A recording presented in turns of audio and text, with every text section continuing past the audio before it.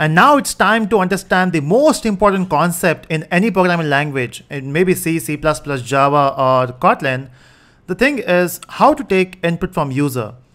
In fact, I have not taken this exam from a long time and then I got some comments, you know, where is the video for how to take input from user? And here we go. Now, taking input from user is actually very, very difficult in Kotlin. You have to write 10 lines of code to get the input. Uh, that's not the, that's not the case, right? This is one of the easiest language. So, but then before going to, I mean, before knowing how to take the input from the user in Kotlin, what we'll do is let's try to understand how you used to do it in Java. Now in Java, we have a concept of uh, scanner class. If you remember, we used to take input, input using scanner class, and then we also had a class called as buffered reader. So these are the two classes we used to use, right, to take input. Uh, and we all used to hate buffered reader because if you remember, if you want to take input using buffered reader, you have to write a full line which goes something like this. Again, this, this code will not work in Kotlin because I'm writing Java code here. So it says buffer reader br equal to new buffer reader and then in, that bracket you have to mention new input stream reader and then you have to mention system.in, right? Such a big line and I always used to hate it. I also used to hate scanner class. I mean for multiple multiple reasons, you know. See, we are all coming from C background, right? In C, we have scanf, right? It's straightforward. We can use scanf and your job is done. In C++, we have cin, job is done.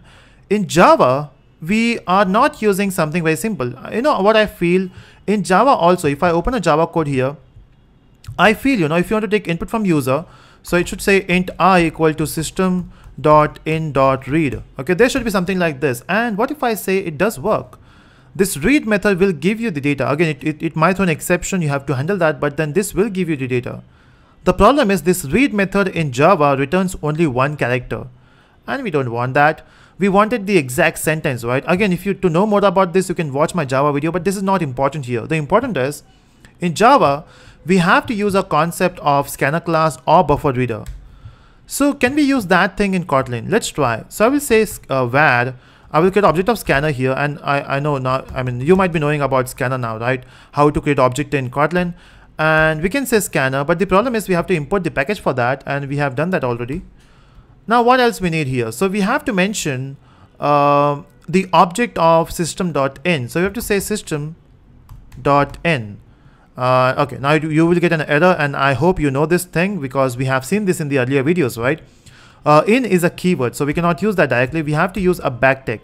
So we have to use a backtick to escape that character. Now, once we got uh, once we got an our object, let's say we got var a number equal to sc dot next int, right? Our job is done. So when you say next int, you will get a string and then we can print the string here. We can print num1 and that's it. If I run this code, let's right click and say run uh, your first code and here we go. We got, oh, where's the output? Oh, okay. It is waiting for the input. First of all, I was a 78 and you got 78, right? is that easy to take input. So here I'm taking the input. I'm just printing it. Okay. I'm not doing any extra, extra operation here, but then you can try it out. So this is what you use. You do, you take input in Kotlin, but with the help of Java syntax. But don't you think this is again, uh, this is again a lengthy code. There should be something simple. And yes, we do have simple thing. Example, if I say var num1, Instead of doing all this circus here, Kotlin says, hey, just read, just use readline and your job is done. So if you want to take input from user in Kotlin, just say readline and your job is done. So let's say println and if I print num1 here, okay, num1, and let me just remove all this extra thing. We don't need that now, right? And if I run this code, uh, let's see if it is working. And it's waiting for the input. Let's say 99 and you got 99. It's that simple, right? So if you want to take input from user in Kotlin, just use readline and your job is done. You don't have to write all this extra code here, right? No, no need of scanner now, no need of any other thing. But then question arises, what is happening be behind the scenes? So if I click on readline, uh, you can see readline is using an inline function, which is system.in.readline. And if I jump to this readline, uh, okay, and it is using buffered reader. So can you see that? indirectly it is using buffered reader. So if you're thinking, hey, uh, no need of no need to know no need to know about uh, scanner and buffer reader, but hold on, behind the scene, Kotlin is using Java code, right? So even if you're not using buffer reader in the code, in behind the scene you are using buffer reader. So buffer reader is going not going anywhere, right? So that's it. Uh, that's how you take input from the user. As a programmer of Kotlin, you should know only this part. But to, it's better to know the backend scene also, right? So that's it from this video, guys. That's how you can you can take the input from the user. So I hope you liked this video. Click on the like button and do share this video with your friends. Thank you so much for watching.